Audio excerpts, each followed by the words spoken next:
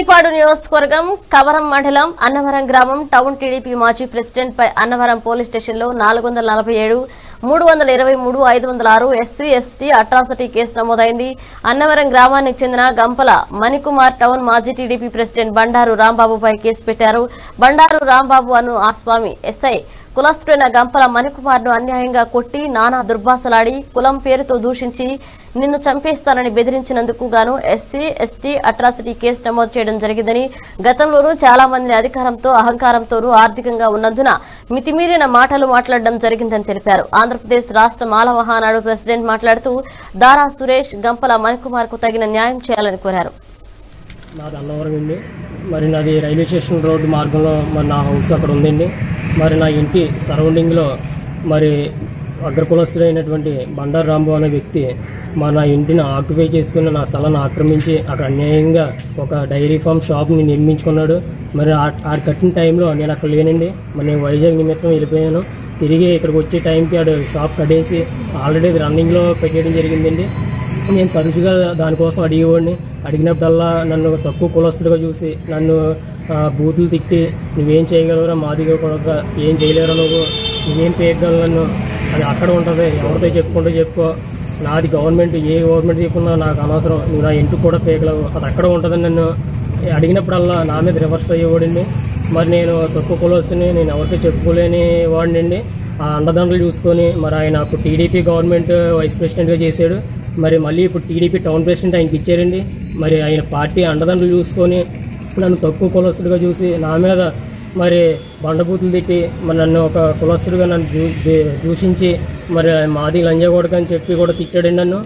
మరి నా గొడవ జరుగుతున్న సమయంలో మరి నా తల్లిదండ్రులు కూడా వచ్చి మరి వాళ్ళు కూడా అడుగుతుండే వాళ్ళని కూడా ఏమీ చేయలేరు మీరు మీరు నన్ను ఏం చేయలేరు మర్యాదగా ఉండకపోతే కనుక మరి నేను చేయవలసి చేస్తానని చెప్పి కూడా మా తల్లిదండ్రులు కూడా బెదిరింపులు చేశారు. కాబట్టి మరి ఈ విషయమే నేను ఆర్ఎంబీఓని కలిశాను లోకల్ ఈఓని కలిశాను. వాళ్ళందరూ కూడా మరి చెప్పినా సరే వినకుండా మరి ఆయన మూర్ఖత్వంగా మరి మా మీద ఇంత దౌర్జన్యానికి పాల్పంచాడు.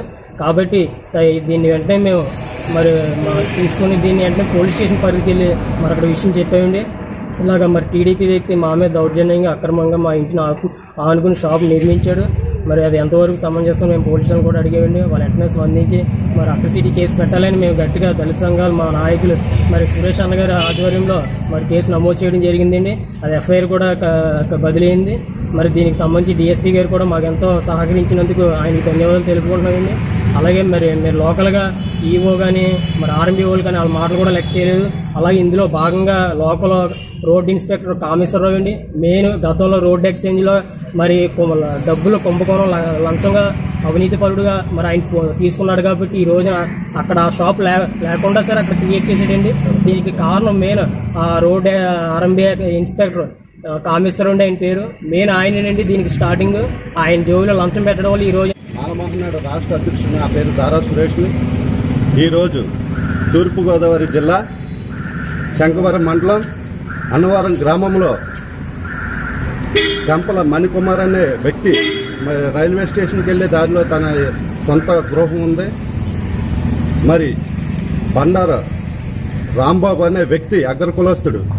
వాళ్ళ ఇంటి పక్కన అడిగేవాడు ఎవడో లేడు కదా ఇది మాదిరిపేట కదా అని చెప్పేసి ఆ ఇంటిని చేర్చి మరి విశాఖ డైరీ కొట్టి పెట్టడం జరిగింది.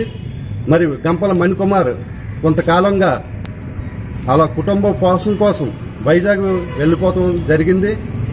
అక్కడ ఆ కుటుంబాన్ని పోషించుకుంటూ కొన్ని రోజులు గడుపుతూ ఉండగా మళ్ళీ అక్కడి నుంచి అన్నవరం గ్రామానికి సొంత గ్రామానికి చేరుకుంటూ ఉండగా ఈరోజు ఈ లోపల కొట్టు కట్టేయడం జరిగింది. ఆ కొట్టు తీయమని అడిగితే మరి మణికుమార్ని మాదిగోడు నువ్వు నీకు చెప్పడానికి పని లేదు మాది మాది మాదిగపేటలో కాదు మీ ఇంట్లో కూడా కట్టేస్తాను నేను కొట్టాను. బెదిరించి దుర్భాషలాడి అతను చాలా ఇబ్బంది పెట్టాడు. మరి బండా రాంబాబు మీద ఈ రోజు అట్రాసిటీ కేసు నమోదు చేశారు. అన్నవరం పోలీస్ స్టేషన్లో తనని వెంటనే రిమాండ్ తీసుకొని అరెస్ట్ చేయాలి